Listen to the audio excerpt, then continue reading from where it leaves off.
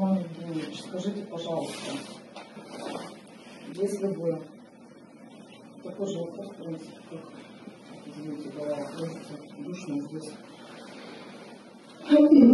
Ивану Андреевичу, если бы от вас данные обстоятельства зависели, вы подали бы заявление на случившееся по собственной инициативе? Нет.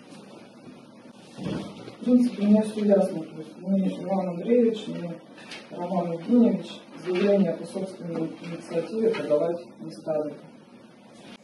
Так, потерпевшим еще. Коллег, лично. До 12.30, 28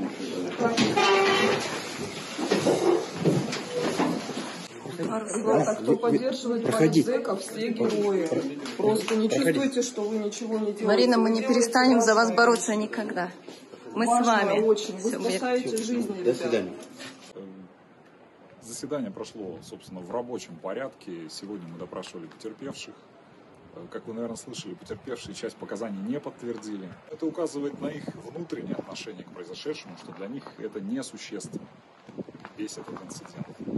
Между тем, э, так как это не просто побои, это насилие в отношении представителя власти, поэтому, собственно, про заявление там речи и не шло в этом деле. Фиксировался рапорт, рапорт регистрировался, проводилась проверка, проверка направлялась на возбуждение.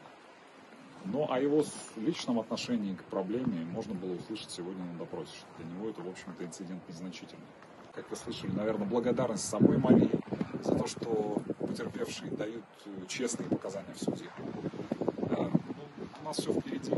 Я думаю, что до лета мы точно будем здесь рассматриваться.